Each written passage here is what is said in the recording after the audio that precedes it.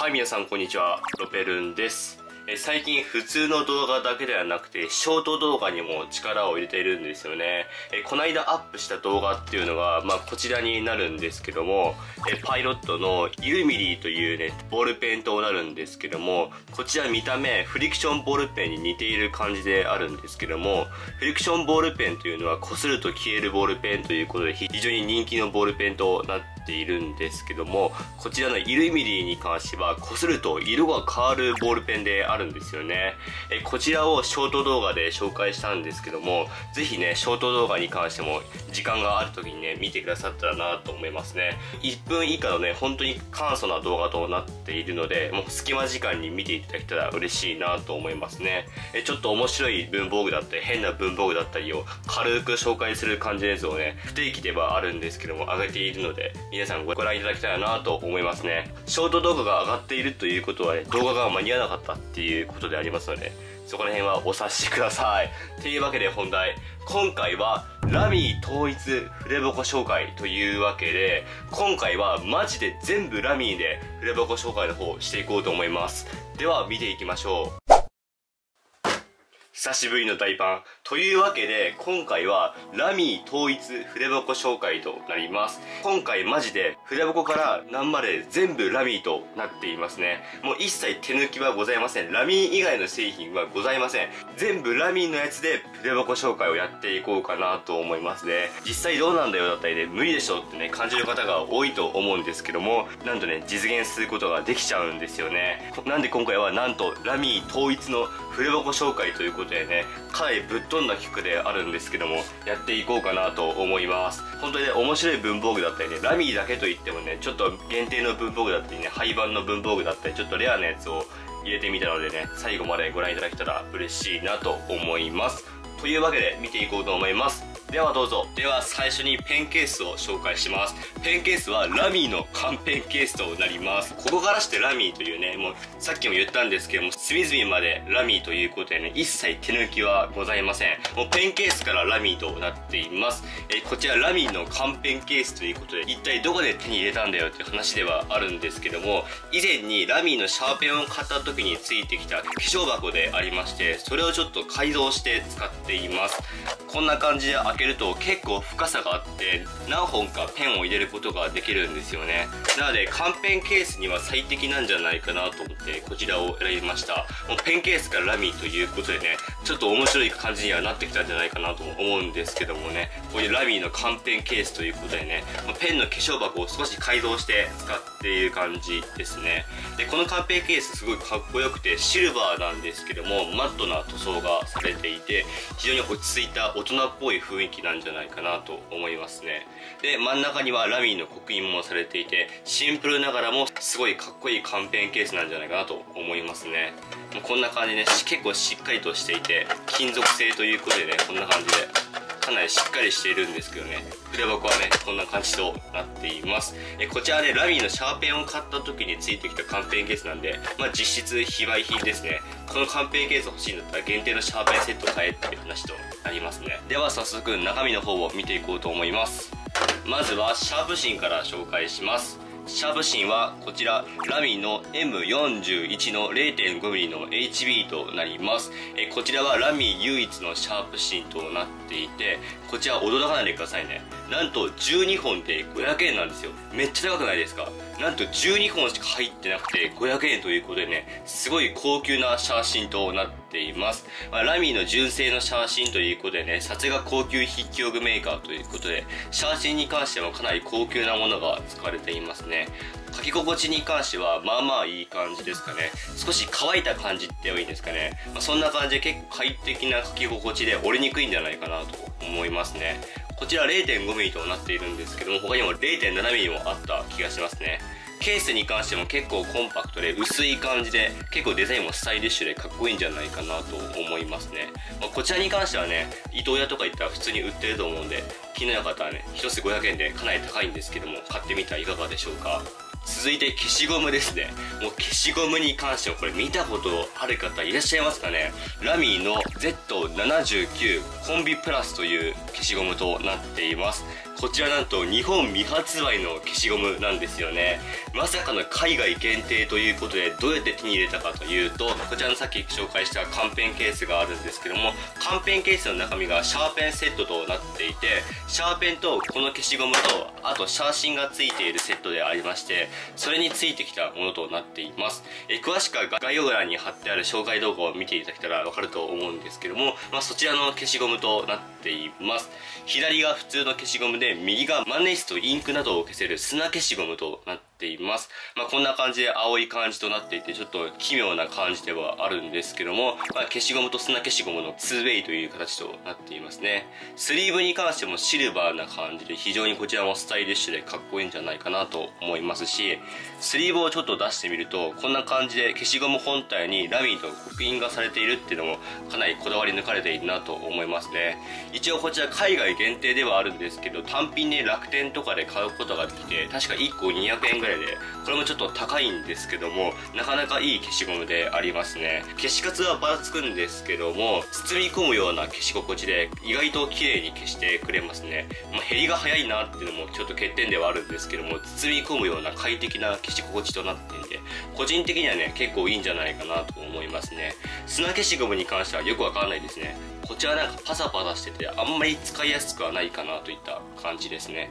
こういうラミーの消しゴムもあるということでねちょっとレアではあるんですけどもこちらも入れてみました。続いて万年筆ですね。万年筆はラミーサファリの2019年限定のミントグリーンの F2 部となります。えこちら結構前から持っている万年筆でありましてラミーの大人気作のサファリの万年筆のモデルとなっています。全身プラスチックでかなり辛めとなっているのでサラサラとした書き心地で非常に快適なんじゃないかなと思いますしインクフローに関しても非常に良いんじゃないかなと思いますね。クリップに関してはラミー堺特有のこんな感じでワイヤークリップとなってていて遊び心もありつつも非常におしゃれなデザインなんじゃないかなと思いますね。インクは青なんですけども現在カートリッジは入ってなくてちょっと切らしておりますね。さすがに変えようってう話ではあるんですけどなかなか変えていませんね。そしてラミー堺特有の三角グリップということで持ちやすいっていうのも特徴でありますね。こちら F2 部となっているんですけども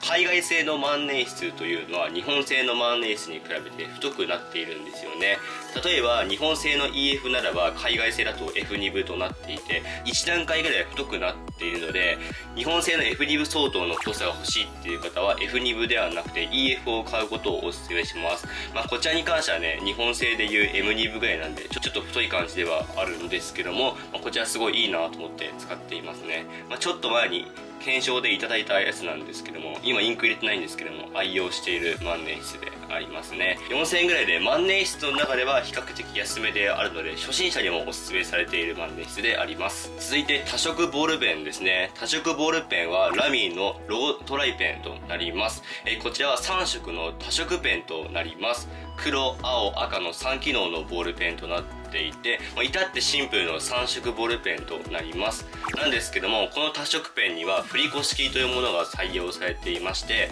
まあ、上部にこんな感じで色の印がついているんですよね。この色の印を上にしてノックするとその色が出てくるっていうねちょっと面白い機構を持っています。これは重力を使っての機能らしくて無重力空間では使えないっていう形となっているんですけども例えば青が出したい場合だったら青を上にしてノックすると青が出るっていう形とななっています。こちらに関しても非常にかっこいいですよね。ステンレスのボディに黒の金具ということで大人っぽいっていうかねザ・スタイリッシュといった感じで非常にかっこいいんじゃないかなと思いますね。リフィルに関しては D1 規格のものが採用されているので、まあ、例えばジェットストリームプライムのリフィルだったりアクロボールのリフィルだったりが使うことができるので、まあ、これに変えてより使いやすくするっていうのがね皆さんやっている方法ですね、まあ、D1 規格ということは 4C 規格ではないんですけどもジェットストリームだったりそういうリフィルも使えますよっていうことで実用性にもいいボールペンなんじゃないかなと思いますね基本的な3色も使えるということでかなりお気に入りの多色ペンとなっています続いて単色ボールペンとなりますね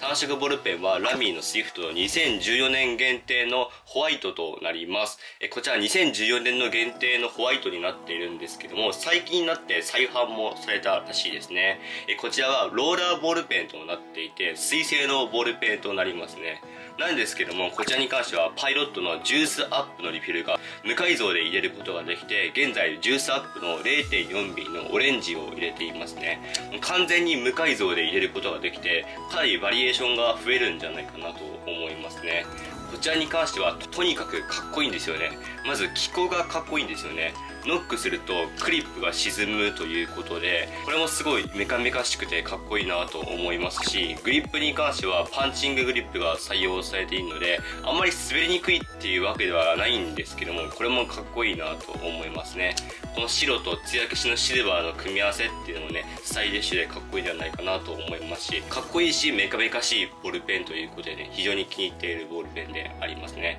まあ、少し太めっていうのもあって比較的重めっていうのもあるのでこのジュースアップの滑らかさとマッチして非常に快適にかけるっていうのもいいポイントなんじゃないかなと思います、まあ、リフィルがラミじゃねえっていうのはね目をつぶっておいてください。そちらに関しては今回除外させていただきます。ずるいですね。続いてシャープペンシルとなります。シャープペンシルは3本入れていてまず1本目はラミーのアルスターのブラックとなります。えこちらはラミーサハイのジョイゴガンモデルとなっていてアルスターといったらボールペンだったり万年筆を思い浮かべると思うんですけどもこちらはシャープペンシルとなります。えアルスターのシャープペンシルに関しては残念ながら2014年に廃盤となってしまったんですけども、まあ、最近になってさっき紹介した消しゴムと写真のカンペンケースがついたそしてこのシャーペンアルスターがついたセットとして販売されていることがあるのでね若干復刻されたっていう形となっていますね。こちらはラビンスハイと違って軸の上部がアルミ製となっていて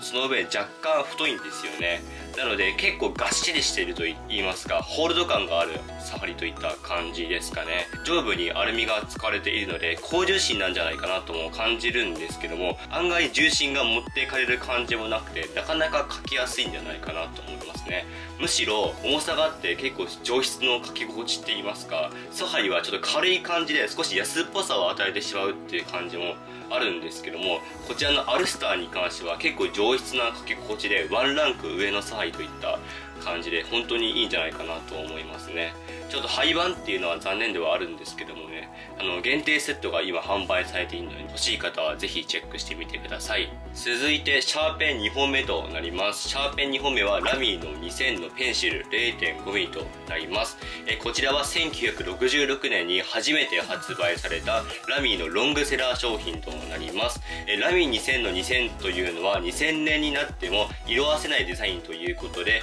現在2022年というわけなんですけども、まあ、この時代でも当時のまんまのデザインとなっています。こちらに関してはとにかくスタイリッシュでかっこいいっていうのがポイントでありますね。流線型の美しいボディとなっていて握りやすいですし非常に美しいなと思いますね。で軸をよく見てみると線が細かく刻まれていてこちらをヘアライン加工と言います。こんな感じで金具から軸からノックまで細部までヘアライン加工が施されていてデザインの徹底ぶりを感じますし非常にスタイリッシュな美しいシャーペンなんじゃないかなと思います。思いますね。金具に関してはステンレス製で軸がプラスチック製ということで若干安っぽいんじゃないかなっていうのも感じるんですけどもこのヘアライン加工が本当に美しくて細かく刻まれているのでそれでかなりこだわり抜かれているなと思いますね。書き心地に関しては流線型のボディということで握りやすいですし比較的軽めのボディともなっているので快適に書ける方なんじゃないかなと思います。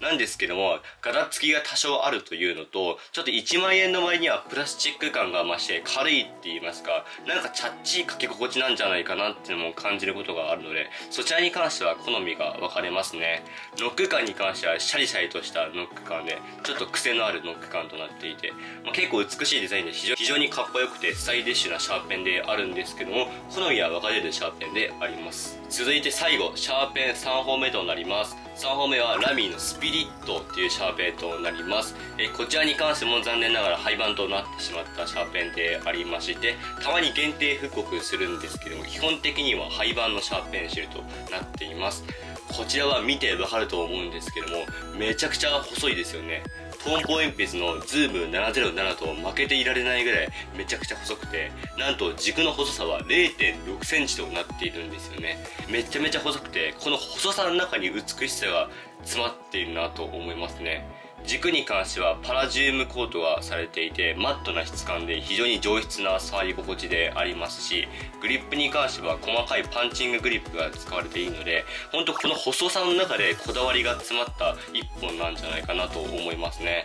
この上部の軸に関してもすごいですよね。こんな感じで軸がねだんだん伸びていって中のパイプの部分に関しては動くんですよね。なんでここは全部ノック部ということで本当にこだわり抜かれたシャーペンとなっています。結構細めで書きづらいんじゃないかと感じる方が多いと思うんですけども案外にも書きやすかったりするんですよね。全身金属製ということで結構重量感もあって非常に安定してる方ではあるんじゃないかなと思いますし僕の手が小さいっていうのもあるので案外にも書きやすかったなといった感じですね。ほんとカタカタ感もなくて安定感があるので、ね、見た目に反してまあまあ使いやすい方なんじゃないかなと思いますね、まあ、こちらに関してはね好みが分かれると思うんですけども手が大きい方にには向いてないと思いますしね。もう手の大きさ次第といいますか自分の好みの問題であるんですけども僕的には非常になかなか使いやすかったんじゃないかなと思います。